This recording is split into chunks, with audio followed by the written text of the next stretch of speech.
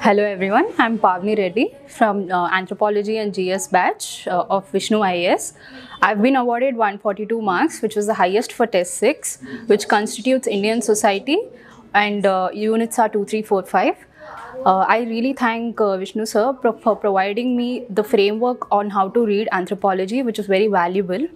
And uh, I thank Vishnu sir immensely for this uh, training in anthropology. Thank you.